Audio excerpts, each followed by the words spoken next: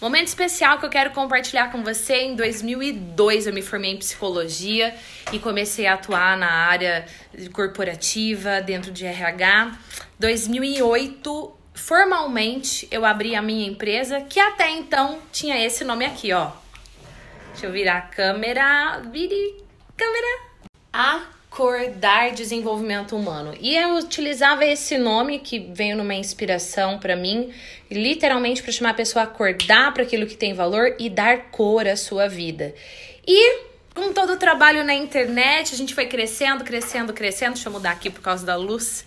E no começo, no final de 2018, a gente tá tirando literalmente aqui, ó, o nome Acordar e agora o novo nome é o desenvolvimento humano.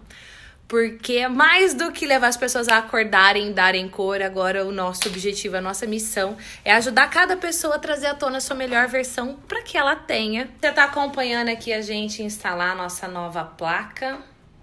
O nome, a nossa missão agora é ajudar as pessoas a terem um efeito uau. Vamos lá. Tcharam!